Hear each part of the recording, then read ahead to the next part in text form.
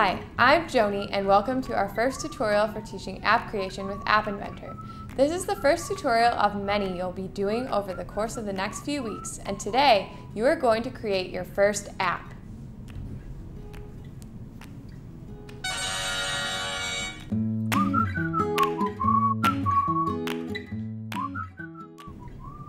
Once you have downloaded the App Inventor 2 companion app, you can now connect your phone to your computer and get started on creating your first app. If you have not yet set up your phone for App Inventor, or you don't have an Android phone, you can click the link below and follow the simple setup instructions. Once you have your phone connected to your computer, go to the App Inventor homepage and click on Create. Or go to ai2.appinventor.mit.edu you are going to have to sign in with a Google account or a school account. Exit the pop-up window and open a new project. We're going to call this Magic Trick. Click on Connect at the top of the page and select AI Companion. A dialog with a QR code will appear. On your mobile device, launch the MIT App Inventor 2 companion app. Then click the Scan QR Code button and scan the code in the App Inventor window. If you don't have a camera or are having trouble, you can type in the six-digit code and click Connect with Code. Now we're ready to really get started.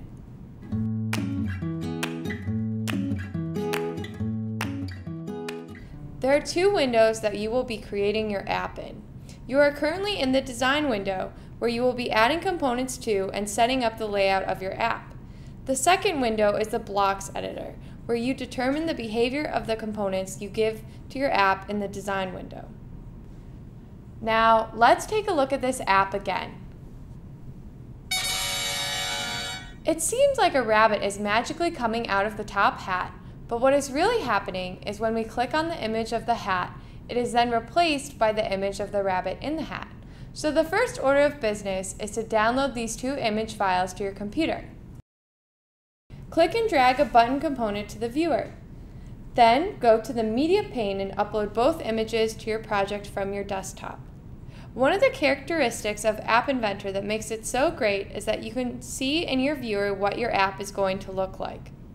Also, your Android device will show you exactly what the app will do every time you make a change. Under the Properties pane for button 1, we see None under the Image tab. Click on it and choose hat.jpg. Now let's make another button. But unlike last time, we are not going to fill it with an image. Instead, we will go to Button 2 Properties and change its text to Restart. Now, we have two buttons which currently do nothing. But do not fear, that is all about to change.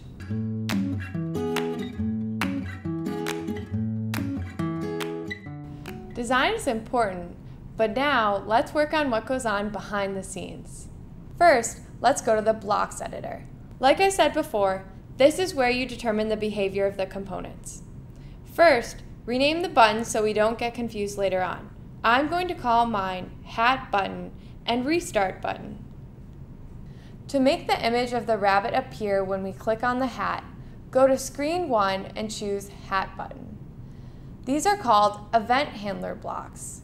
They're a light brown color and start with when, and in using these, we can decide what happens when a certain event takes place. Drag the first one out into your blocks viewer. Now, go back to Hat button and scroll down and drag in set hat button.image2. Then go to text and drag in the small pink block that holds a string of text. Once placed, type in rabbit.jpg. Whatever blocks you decide to place inside the event handler will happen when hat button is clicked. So now when we click it, the original image will change to rabbit.jpg. For the restart button, we want to, it to behave similar to the hat button, but in reverse. So take the same steps as you did for the first button, but type in hat.jpg this time. To get our ta-da sound, Download the tadasound.mp3 the same way you did with the two images, then upload to App Inventor. In the Design window, go to Media under the Palette pane and drag a sound component to the viewer. you can see that this does not appear to change anything in your app.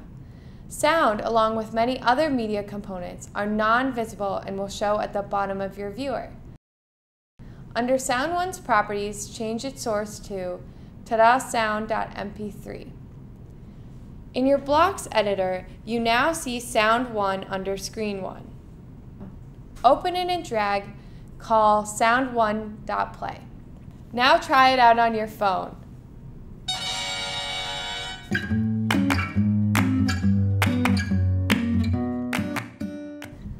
Although you have practically become a magician, you're still a novice, so let's make this a little more complicated.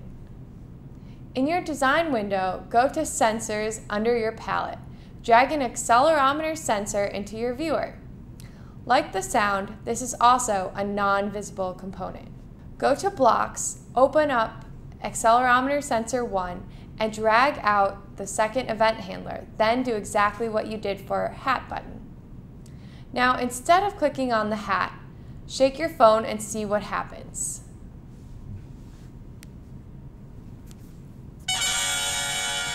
Congratulations! You have now built your first app. I hope you enjoyed making Magic Trick.